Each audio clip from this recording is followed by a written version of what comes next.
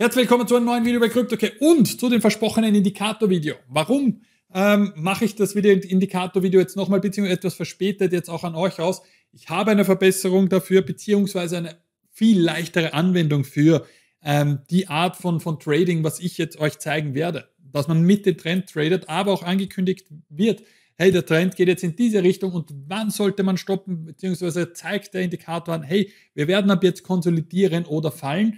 Ähm, da gibt es zwei Möglichkeiten, das zeige ich euch aber alles im Detail. Und jetzt ist ein optimaler Zeitpunkt oder fast optimaler Zeitpunkt auszusteigen. Und ihr werdet sehen, das ist sehr, sehr gut, diese Vorhersage.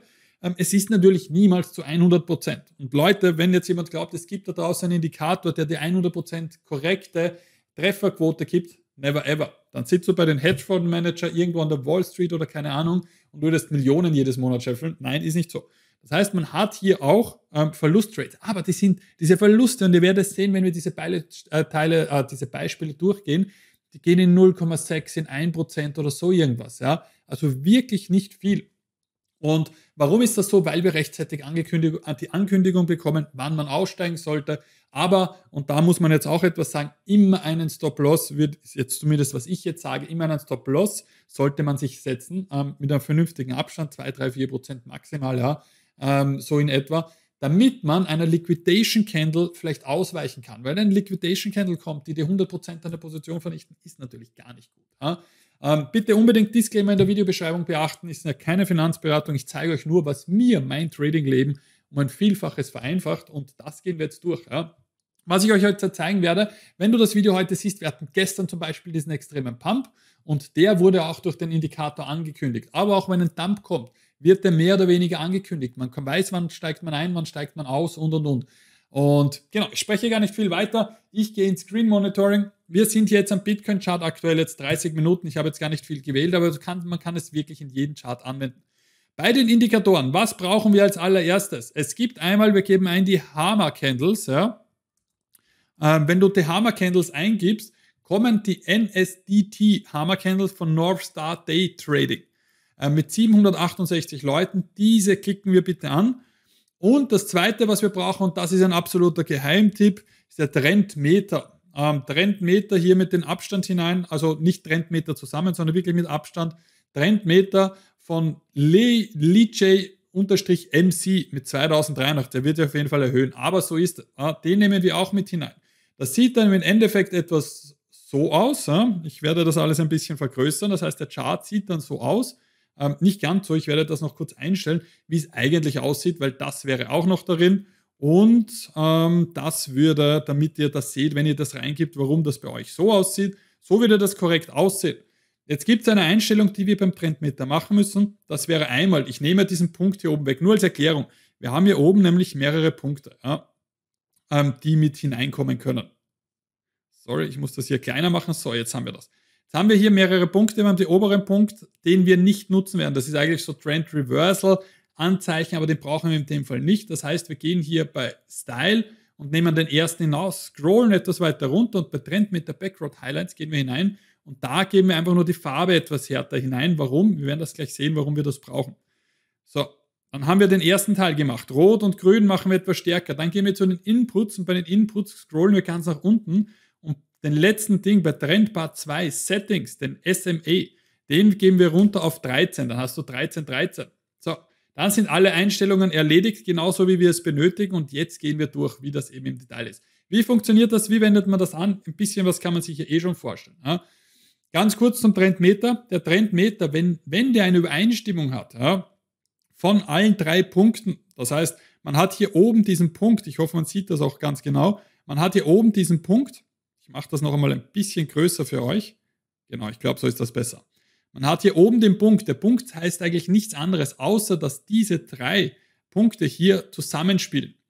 Ähm, und wenn wir dann aber noch die Bestätigung haben, dass diese Linie unten grün wird und auch diese hier unten grün wird, das ist in dem Fall jetzt nicht der Fall, aber es wird eine, eine Candle später grün, dann zeigt uns der ganze Trend ein bullisches Zeichen an. Warum, weshalb? Ganz kurz vielleicht, es ist eine Mischung aus MACD, ähm, Crossing, RSI, RSI, MACD Crosses, EMA, EMA und SMA. Ja? Alles Trend, ähm, be also beziehungsweise zeigen den Trend voraus.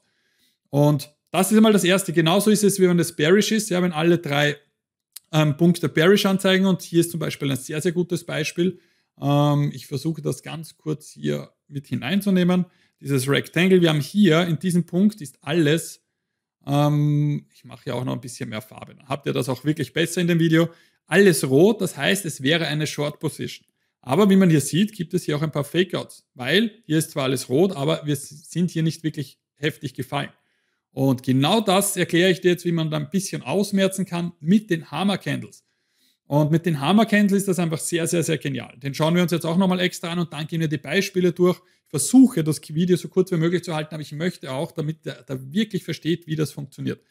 Die Hammer Candles, die haben in der Mitte, man sieht das hier, da braucht man auch nichts anderes einstellen, diese Linie. Ja, die, die wechselt zwischen grün und gelb und rot. Und man sieht hier, wenn sie grün ist, ist das eher ein bullisches Zeichen. Wenn sie gelb ist, so wie hier sieht man das vielleicht ein ganz kleines bisschen. Ich suche ein bisschen was stärkeres Gelbes. Hier ist ein bisschen gelb. Ähm, hier ist ein bisschen gelb. Wir haben aber auch längere Konsolidierungen, wo sie ein bisschen gelb ist. Ja. Ähm, dann hier ist sie zum Beispiel ein bisschen gelb. Ich kann ich auch zeigen, obwohl wir ein Dump, aber wir haben hier eine gelb. Dann heißt das, wir konsolidieren und wir machen in dem Fall gar nichts. Wenn es gelb ist, wird nichts gemacht. Wenn es grün ist ja, ähm, und die Candles auch grün sind, dann wissen wir, wir haben hier eine Long Position. Weil auch diese, du siehst hier, nicht nur, dass wir über der Linie sind, ähm, genau, Grundregel, der Chart muss immer über dieser Linie sein, die ich hier gesagt habe, die sich zwischen Gelb, Grün und, und Rot ähm, wechselt. Dann gehen wir long. Ist der Chart unter dieser Linie, dann gehen wir short. Und das machen wir die ganze Zeit so. Wir kriegen auch noch diese Anzeige. Eine optimale Bestätigung wäre so wie hier. Wir haben hier einfach den Chart plus diese roten, ich nenne es so Heike-Nasche-Verschnitt, haben wir einfach auch unter der Linie hier. Dann wissen wir, wir haben äh, mehr oder weniger eine Bestätigung für Short. Nehmen wir jetzt ein kleines Beispiel. Ähm, wenn wir jetzt hier hineingehen und wir sagen, wir würden hier jetzt einfach nur ohne den Trendmeter eine Long Position hineingeben, weil wir haben hier eine grüne Candle, die ist noch ein bisschen gelb, auch, auch ich muss hier ein bisschen, dann seht ihr das vielleicht etwas besser.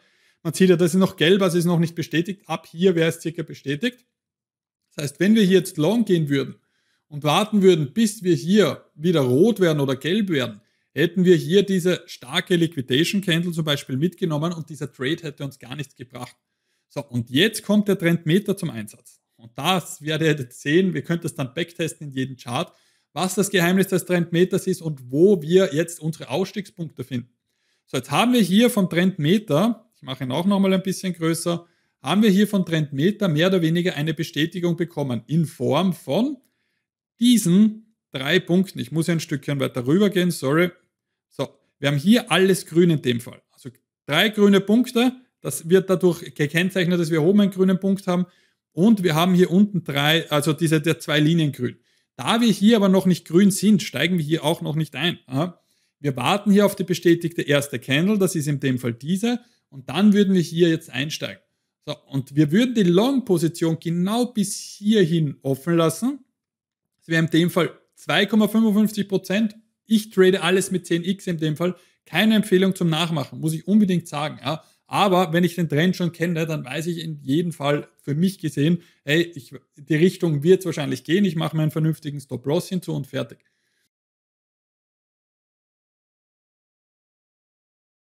Aber wir traden genau, und das ist eben das, auf was man achten muss, wir traden dann wirklich nur so lange, wie diese grüne Schatten hier vorhanden ist. Weil sobald der grüne Schatten aufhört, und das ist beim Trendmeter so, grün ist bullish, schwarzer Hintergrund heißt Konsolidierung, roter Hintergrund heißt bearish. Ja?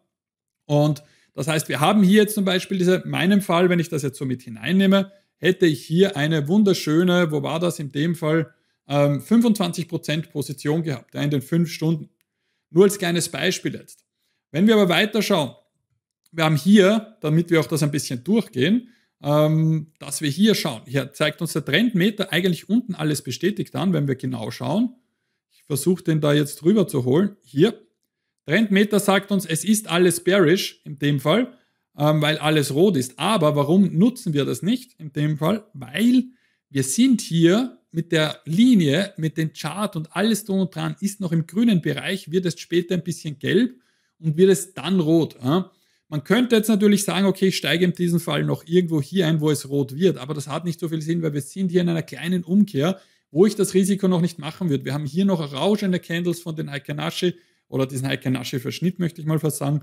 Und wir gehen hier langsam aber sicher erst über in den anderen Ding. Ja?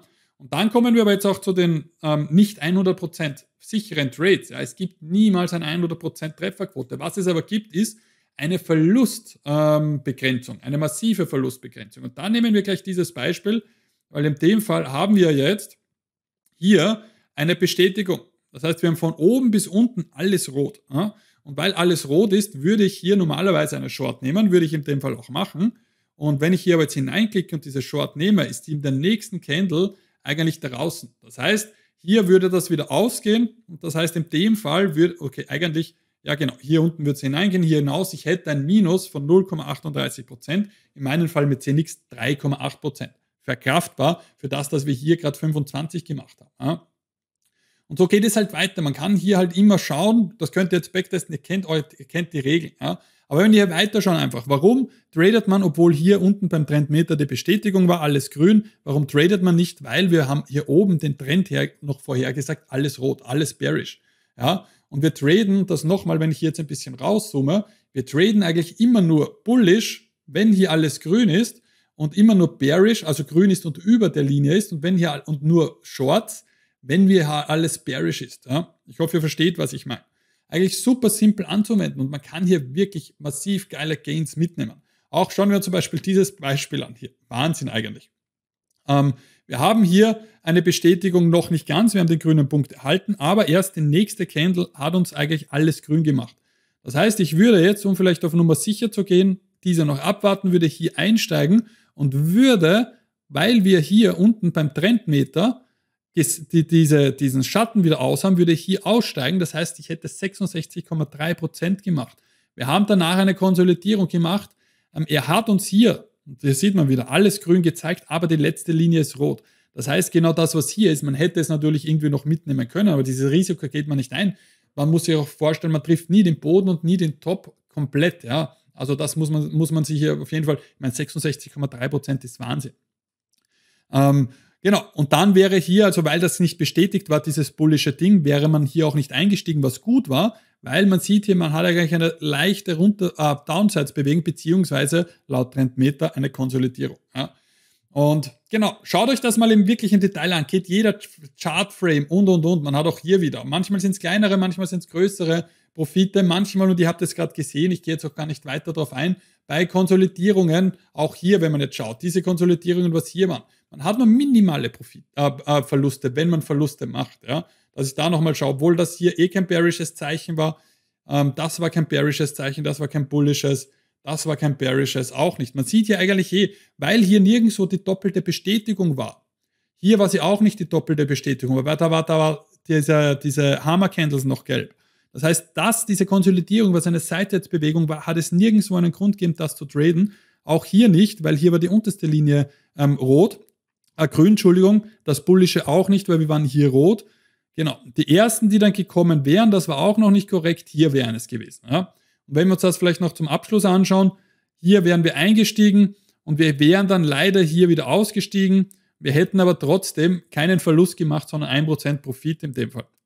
Aber, und wer sich den Pump gestern angeschaut hat, ähm, wer aus dieses Video gesehen hat oder beziehungsweise mitbekommen hat, dass plötzlich alle bullish waren, das war der gestrige Pump, nach den Wochenende, also der Montag. Wir wären hier eingestiegen und genau diesen Pump hätte man den vorhergesehen nicht wirklich, weil man wusste nicht nach der Konsolidierung, welche Richtung geht es. Ähm, hier wäre man eingestiegen, hier war eine Bestätigung und man hätte eigentlich so gut wie am Top, muss ich fast sagen, 33 Prozent mitnehmen können, weil es ging jetzt, und wie man sieht, geht es hier jetzt wieder weiter hinunter. Und wenn ich das kurz ausschalte, sieht man hier, dass wir jetzt aktuell wieder weiter hinuntergehen. Also wirklich genial diese Kombination ähm, aus den Indikatoren, die beim Traden einiges helfen können, werden, wie auch immer. Ja. Ich wünsche auf jeden Fall jeden Einzelnen viel Erfolg bei der Anwendung. Ähm, bin gespannt, ob er Profite macht. Lasst es mich in der, in der Community Telegram-Gruppe wissen, die ist unten drin. Sorry für das lange Video, aber es ist wichtig, dass ihr das versteht, was eben hier geschieht. Ähm, Trendmeter in Form mit den Hammer Candles, unglaublich gute Kombination, die vor allem die langen Pumps mitnehmen können und wann, dass man weiß, wann man aussteigt. Wenn dir das Video gefallen hat, ich würde mich wirklich freuen. Liken, teilen, kommentieren und wenn du noch nicht abonniert hast, dann jetzt abonnieren. Vielen lieben Dank. Ciao, ciao.